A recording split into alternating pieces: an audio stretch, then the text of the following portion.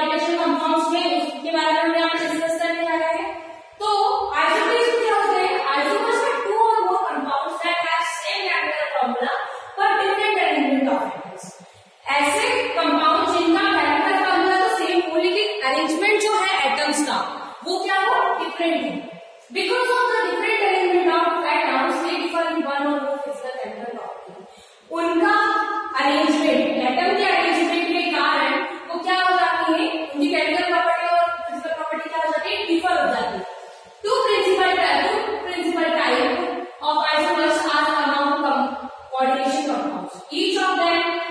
further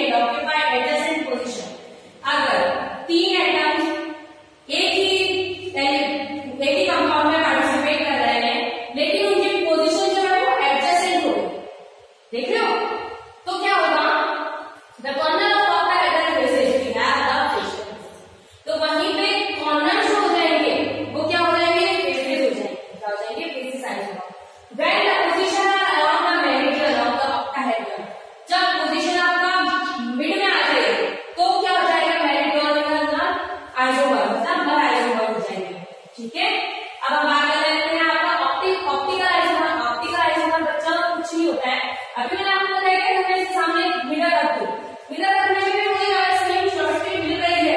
then मेरा वो compound हो जाएगा ऑप्टिकल आइसोमर हो जाएगा। ऑप्टिकली एक्टिव कंपाउंड मुझे यहाँ पे मिल जाएगा। Optical isomers are mirror image that can not be superimposed on another optical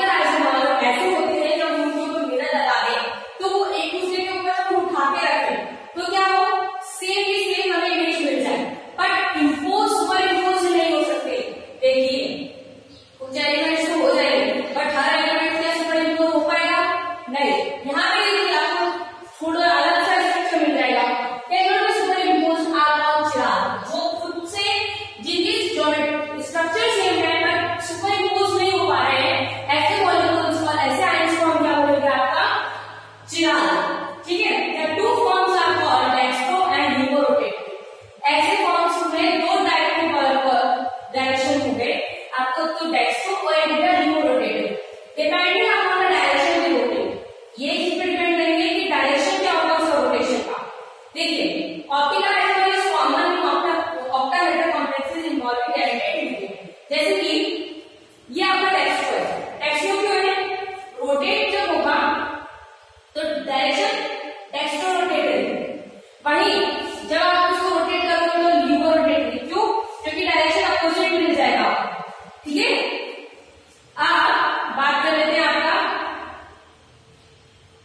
ये कुछ स्ट्रक्चर नहीं है